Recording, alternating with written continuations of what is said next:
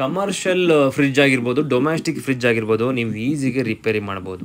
ಯಾಕಂದರೆ ಅದು working principal ನಿಮ್ಗೆ ಗೊತ್ತಾಗಬೇಕು, ಯಾವ ಥರ ವರ್ಕ್ ಮಾಡ್ತಿದೆ, ಎಷ್ಟು ಟೆಂಪ್ರೇಚರ್ಗೆ ಕಟ್ ಆಫ್ ಆಗ್ತಿದೆ ಅಂತ. ಈಗ ನಾವು ತುಂಬ ವರ್ಷಗಳಿಂದ ರೆಡಿ ಮಾಡಿದ್ದು ಸೊ ಇವತ್ತಿಗೂ ಕಂಡೀಷನ್ ಆಗಿ ವರ್ಕಿಂಗ್ ಇದೆ, ಅದ್ರ ಬಗ್ಗೆ ನಿಮ್ಗೆ ತೋರಿಸ್ತೀನಿ. ಮೇಲ್ಗಡೆ ನಿಮಗೆ ಒಂದು ಫ್ಯಾನ್ ಬರುತ್ತೆ, ಒಂದು ಥರ್ಮೋಸ್ಟಾಟ್ ಬರುತ್ತೆ.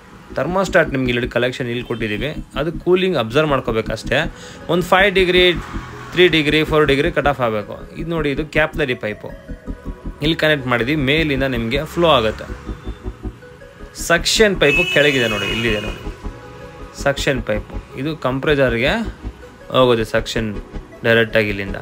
ಸೊ ಕ್ಯಾಪ್ಲರಿ ನೀವು ಮೇಲ್ ಕೊಡಬೇಕಾಗತ್ತೆ. ಫ್ಲೋ ಅದು ಮೇಲಿಂದ ಡೌನ್ ಬಂದರೆ ನಿಮಗೆ ಪರ್ಫಾರ್ಮೆನ್ಸ್ ಚೆನ್ನಾಗೈತೆ ಮತ್ತು ಬರುತ್ತೆ. ಮತ್ತು ಕೂಲಿಂಗ್ ಕಾಯಲು ಅಲಿಮಿಲಿಮ್ ಇದ್ದರೆ ತುಂಬ ಚೆನ್ನಾಗಿ ಪರ್ಫಾರ್ಮೆನ್ಸ್ ಬರುತ್ತೆ. ಸೊ ಮೇಲ್ಗಡೆ ಒಂದು ಫ್ಯಾನು ನಾರ್ಮಲಾಗಿ ಇದ್ದೇ ಇರುತ್ತೆ.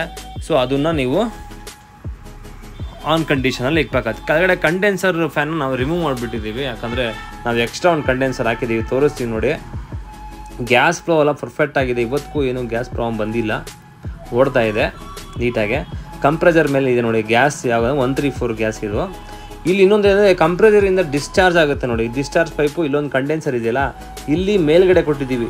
ಕಂಪ್ರೆಸರಿಂದ ಆಯಿಲ್ ಪಂಪ್ ಆಗಬಾರ್ದು, ಮತ್ತು ಚೌಕ್ ಆಗಬಾರ್ದು ಅನ್ನೋ ಉದ್ದೇಶದಿಂದ ಕಂಪ್ರೆಸರಿಂದ ಒಂದು ಡಿಸ್ಚಾರ್ಜ್ ಪೈಪ್ ಬರೋದು ನೀಟಾಗಿ ನೋಡಿ. ಅಬ್ಸರ್ವ್ ಮಾಡಿ ಇವನ್ನೆಲ್ಲ ಮೇಲ್ಗಡೆ ಕಂಡೆನ್ಸರ್ ಯಾವುದು ರೀಚ್ ಆಗುತ್ತೆ ಫಸ್ಟು ಅದಕ್ಕೆ ನಾವು ಕೊಟ್ಟಿದ್ದೀವಿ. ಸೊ ಆ ಕಂಡೆನ್ಸರ್ ಈ ಸ್ಮಾಲ್ ಕಂಡೆನ್ಸರಿಂದ ನಿಮಗೆ ಆಚೆ ಬರುತ್ತಲ್ಲ ಔಟ್ಪುಟ್ ಸೊ ಅದರಿಂದ ಅದು ನೋಡಿ ಕೆಳಗಡೆಯಿಂದ ಮೇಲೆ ಬಂದಿದೆ. ಕೆಳಗಡೆಯಿಂದ ಮೇಲೆ ಬಂದು ಅದೇ ಪೈಪ್ ನೋಡಿ ಇಲ್ಲಿ ಇಲ್ಲಿ ಬರುತ್ತೆ. ಈ ಫ್ರಿಡ್ಜ್ ಒಳಗಡೆ ಒಂದು ನಾಲ್ಕು ಪೈಪ್ ರೋಲ್ ಇರುತ್ತೆ ಕೆಳಗಡೆ ಬಾಟಮಲ್ಲಿ ನೀರು ಡ್ರೈ ಆಗೋದಕ್ಕೆ. ಸೊ ಅದರೊಳಗೂ ಕನೆಕ್ಷನ್ ಕೊಟ್ಟಿದ್ದೀವಿ. ಅಲ್ಲಿಂದ ಔಟ್ಪುಟ್ ನೋಡಿ ಇಲ್ಲೊಂದು ಪೈಪ್ ಬರುತ್ತೆ ನೋಡಿ, ಇದರಿಂದನೇ. ಔಟ್ಪುಟ್ ಬಂದು ಇಲ್ಲೊಂದು ನಾವು ಹಾಕಿರೋ ಸಿಂಗಲ್ ಡೋರು ಕಂಡೆನ್ಸರ್ ಕೂಡ ಹಾಕಿದ್ದೀವಿ ಸೊ ಇದರಿಂದ ನಾವು ಫ್ಯಾನ್ ಹಾಕಿಲ್ಲ ಕಂಡೆನ್ಸರ್ಗೆ ಸೊ ಡಬಲ್ ಕೂಲಿಂಗ್ ಆಗಲಿ ಅಂತ. ಸೊ ಇಲ್ಲಿ ಒಂದು ಡ್ರೈಯರ್ ಹಾಕಿ, ಒಂದು ಕ್ಯಾಪ್ಲರಿ ಹಾಕಿದ್ದೀವಿ ವೆರಿ ಸಿಂಪಲಾಗಿ ರೆಡಿ ಮಾಡಿದ್ದೀವಿ ಇವತ್ತಿಗೂ ವರ್ಕಿಂಗ್ ಇದೆ. ಕ್ಯಾಪ್ಲರಿ ಇಲ್ಲೊಂದು ಸ್ವಲ್ಪ ರೋಲ್ ಮಾಡಿ ಹಾಕಿದ್ದೀವಿ ಸೊ ಕ್ಯಾಪ್ಲರಿ ಸ್ವಲ್ಪ ಲೆಂತಿ ಆಗಿರಬೇಕು.